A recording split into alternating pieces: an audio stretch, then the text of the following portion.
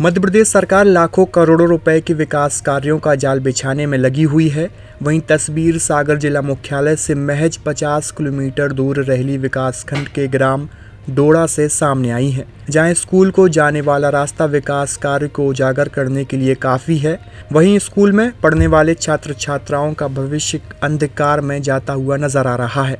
इसका कारण है ऊबड़ खाबड़ कीचड़ से युक्त रास्ता जिस पर होकर नन्हे मुन्ने बच्चे स्कूल जाने को मजबूर हैं। बताया गया है कि बच्चों को हाथ में चप्पल लेकर कीचड़ से सने रास्ते से होकर स्कूल जाना पड़ता है। वहीं यह तस्वीर ग्राम पंचायत के जनप्रतिनिधि एवं जिम्मेदार शासकीय कर्मचारियों पर सवाल खड़े कर रही हैं।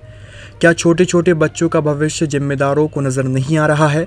वहीं स्कूल शिक्षा विभाग एवं जिम्मेदार इस तस्वीर को देखें, जो मध्य प्रदेश में अरबों रुपए खर्च करके बच्चों की मूलभूत सुविधाएँ देने का दम भरती है। सरकार स्कूल चले हम अभियान पर चाहे जितना भी ज़ोर दे दे लेकिन धरातल की स्थिति कुछ और ही नज़र आती है। का नाम?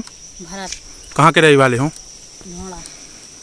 ऐसी परेशानी रो हमेशा हो न करबे में।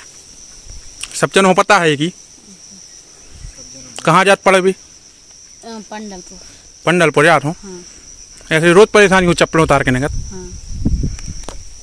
कहाँ के रहने वाले हो? हम पतरगार के रहने वाले हैं और यहाँ पर ढोड़ा है। आगे जल जाते हुए पतरगार मिलता है वहाँ पे रहते हैं। अभी कहाँ गए थे तुम? हम अभी स्कूल गए थे। स्कूल गए थे। हम्म। यहाँ से जो निकलते हैं ये रास्ता ऐसा गड़बड़ है परेशानी होती है? बहुत ज़्यादा होती है परेशानी तो। चप्पल हाथ में लेनी पड़ती हैं और साइकिल संभाले की बैग संभाले अच्छा।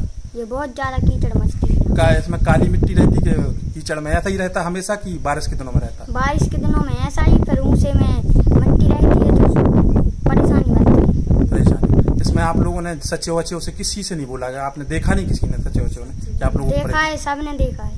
सबने देखा? उसके बाद भी कोई कुछ नहीं करता? कोई कुछ नहीं करता। आप लोगों को कितने महीने परेशानी होती है ऐसे में? ये बारह महीने होती है। बारह ही महीने तक।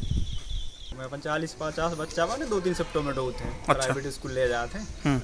तो तक बच्चा कौन कौन स्कूल के जाते थे ऐसे ये गाँव से? जैसे अपने लगभग गुरुकुल स्कूल के जा रहे हैं। हाँ। और अन्य रहली में एक दो स्कूल और हैं वो तो जाते हैं। सरकारी के भी जाते हैं? सरकारी के भी जाते हैं। ये तो ऐसे कैसे परेशानी होती है मिट्टी के मारे? परेशानी तो बहुत ज़्यादा हो रही है। अब जहाँ मान के चलो वो रोड धरे जितने बच्चे जैसे गाड़ी के पास में आ रहे हैं तो वे गाड़ी के पास ही नहीं आ पा रहे। जब गाड़ी के पास आए जब स्कूल ले है तो वे गाड़ी के पास भी नहीं आ पा रहे हैं। अच्छा।